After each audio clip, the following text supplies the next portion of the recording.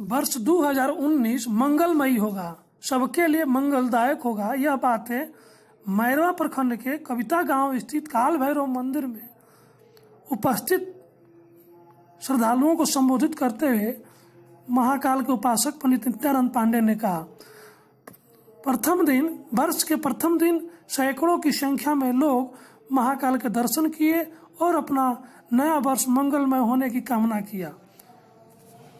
मंगलहारी द्रम सुधा सदा जीव बिहारी फ़र्स्ट, मंगलवार के फ़र्स्ट दिन पड़ल बा। मिस रात से पड़ल बा। हर भक्तगण के मनोकामना अवश्य पूर्ण हुई। ऐसे कि महाकाल के समक्ष पूजन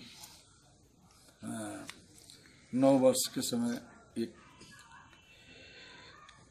एक दो हज़ार उन्नीस के दिन पड़ल बा एक भी मेष के दिन है शुभ कार्य की वृद्धि हुई। सब मनोकामना पूर्ण हुई। भक्तगण के इच्छित कार्य पूर्ण हुई। जे भी आज के दिन लड्डू जो यदि चढ़ावता लड्डू चढ़ावे के चाहिए आज के दिन भगवान हनुमान के नाम पर पहले लड्डू चढ़ावे के भैया आपको यहाँ आने से आज क्या लाभ मिलता है? मतलब आप लोग आते हैं क्या? मैं आने से मुझे अपने मन की संतुष्टि होती है बाबा की कृपा रहता है हम लोग को बाबा को छत्रछाया हम लोग को मिलता रहता है।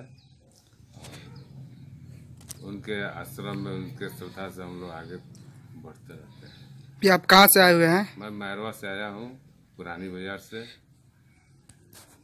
बहुत बहुत धन्यवाद भैया आपका। अच्छा जी आपको क्या लाभ मिलता है यहाँ से आने पे? आने से यहाँ बहुत शांति मिलती है। और हमारी सब मनोकामना पूर्ण होती है। कहाँ से आप आए हुए हैं? से आए हैं। अंकल आपको यहाँ से आने से क्या लाभ मिलता है? आप लोग आते हैं यहाँ पे।